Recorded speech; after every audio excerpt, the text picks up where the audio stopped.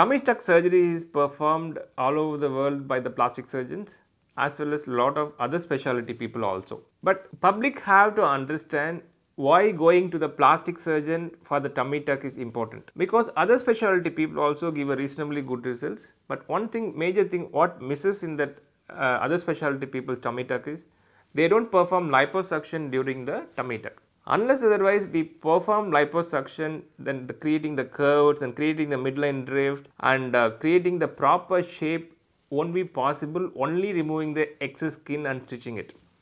understand this major difference. So, when you want a very good results approach a plastic surgeon for a tummy tuck don't go for a tummy tuck with the other specialty people.